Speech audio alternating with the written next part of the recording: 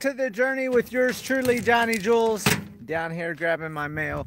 And I figure I'd make a video for all those out there that talk about I need a man's truck and my little truck don't do much. And yeah, they say that, but uh, my little alien mobile does a lot of hauling. So uh, I'll show you the hay.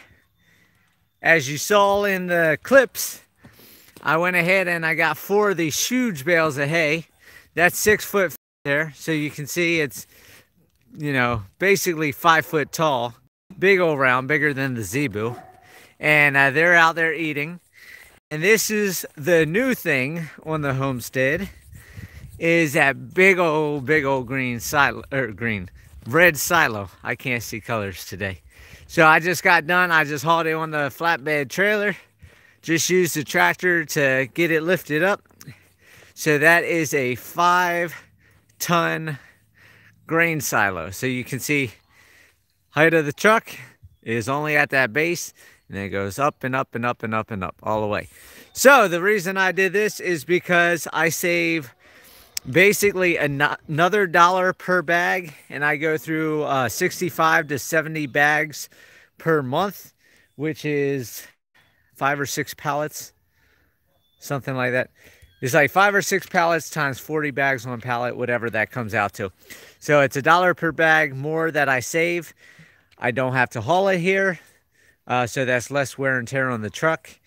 And I don't have to deal with um, 55 gallon or 55, 50 pound sacks of feed. I can just put a five gallon bucket right here, which is less weight. And uh, bring my side by side up here with a bunch of five gallon buckets in it and just fill the five gallon buckets and that way I'm not having to move any weight or anything like that. There's the ladder that goes all the way up to the top. And uh, so this is the new investment here and saving on fuel and everything else on the truck plus a dollar extra per bag by getting it in bulk. I will end up saving just over 15,000 a year and this right here was $2,600, the silo, and the silo will be paid back within four and a half months if you do the math on the mileage I got to drive, the gas, the wear and tear, and the dollar per bag um, per month times four and a half months. Uh, this breaks even at four and a half months. then after that, I'm saving a dollar per bag or however many per ton $41 per ton than I normally spend. So the other great part is you can see all those sacks that I didn't get out on Sunday to the trash. I don't have to deal with all those uh, bags. I don't have all that trash to deal with and uh, makes life a lot easier.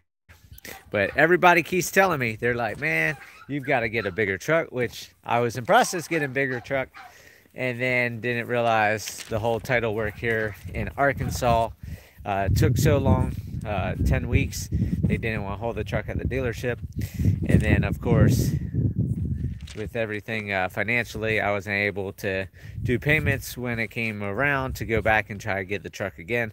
Plus, I had put all the miles on the truck, so now the truck's got over 92,000 versus uh, 42,000 when I went in. So I wouldn't get as much money, so the payments be a lot higher, so on and so forth. But I'm pretty happy because this truck like I said, hauls that, hauled all the big bales of hay, and uh, hauled all the animals and stuff minus the camel. So not too shabby of a truck. A little beat up, but uh, it's a farm truck. That's life on the homestead. And I'll talk to you guys tomorrow. I'll uh, film when they get here to fill, fill the grain. yeah, fill, fill the grain bin. See, I still got to get some sleep. Still exhausted from all this traveling. Got back just after midnight uh, from Kansas. That's where I went to get the hay because uh, people around here got scatterbrained and scared and hogged all the hay like they did toilet paper. So with that, I'll see you guys tomorrow when they're here and enjoy the rest of your day.